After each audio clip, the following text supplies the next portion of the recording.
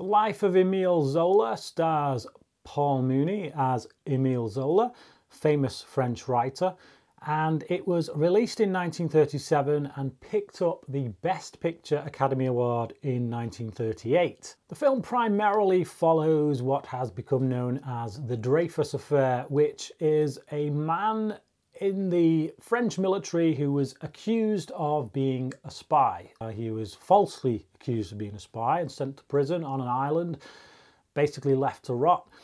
And it became quite apparent that the government had covered it up, covered up the, the fact that they'd cocked up, they'd made a mistake, and rather than admitting it, they, well, the military, I say the government, really means the military, the military had made a mistake, and rather than owning up to it, they covered it up. And they were willing to let a man rot in prison rather than bring, bring the, the truth to light.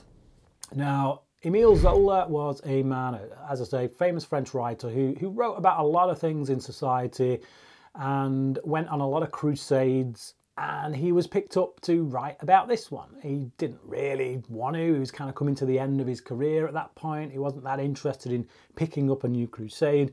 But the more he looked into the case, the more he felt compelled to kind of bring the truth to life. And as a result was often called a traitor himself for doing so until the truth eventually came out. Now, the film is all about that. It follows that, and when it's following that, once it gets to that, it's actually quite interesting as a you know courtroom drama slash biopic. One of the problems with it is it takes so long to get there. Like that's the story that we're kind of following. Now they called the film The Life of Emile Zola. So what we get is the first half hour of the film giving us this protracted kind of what other things has he done in his life? You know, where how did he get to where he's getting to? And it, I don't care. Really don't care. I just like once we get to the Dreyfus like this film should start with Dreyfus being found out and then sent to prison and then his wife knocking on the door of Emile Zola.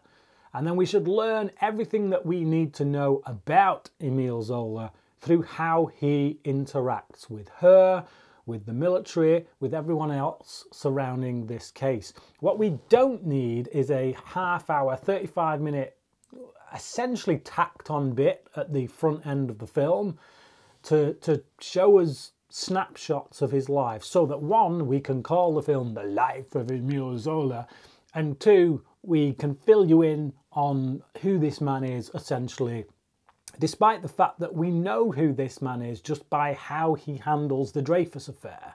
The fact that he's willing to go out on a limb for this man when nobody else will tells us all we need to know about who Emile Zola is.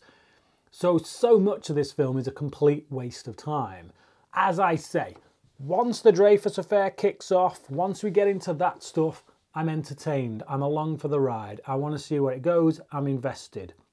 It, it's just takes far too long to get there as we wade through a load of unnecessary kind of biopic nonsense. Performances are all pretty decent. There's nothing spectacular, like nothing I would consider Oscar worthy to be honest. Muni is is perfectly fine in the role of Zola, although I do feel like he hams it up a little bit with his French kind of ticks.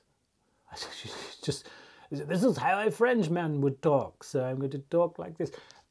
Obviously, not doing a fine job of it myself there, but yeah, it's it's fine. It's fine. The performances, I say, are fine. There's nothing about the performances here that are bad.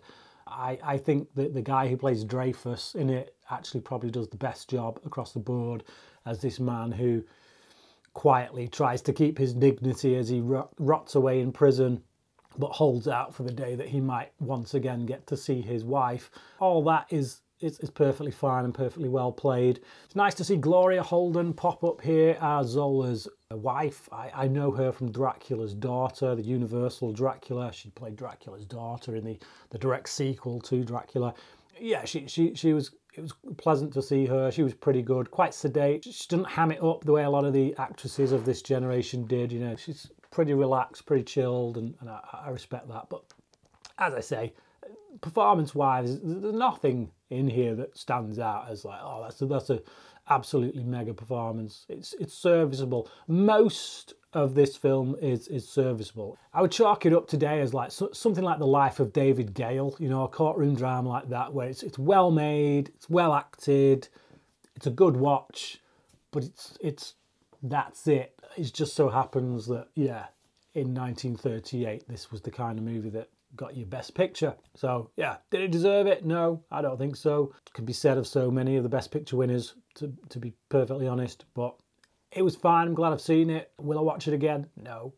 But yeah, if, if, you, you've got an interest in history, if if you've heard of the Dreyfus affair, which I have, you know, I, I, I didn't know what it was until I watched this movie, but th- there were there's, there's been various political movies that I've seen over the years that have referenced the Dreyfus affair, where I've gone like the Dreyfus affair. Oh, that sounds intriguing. What's that? Well, if you want to know, here's your answer: the Dreyfus affair. So it's all covered in this film. I just wish, I just wish the film had been called the Dreyfus affair rather than the life of Emile Zola.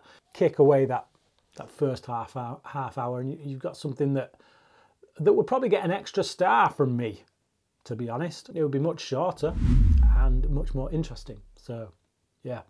The Life of Emile Zola, Best Picture winner of 1938. Have you seen it? If so, what did you think about it? If you know of any other movies that have been made around this particular point in history, around the Dreyfus Affair, let me know about it because I do find it to be quite an interesting subject. Was it dealt with in the best possible way with this film? No, maybe not. But maybe there's another film out there that has done a better job of it.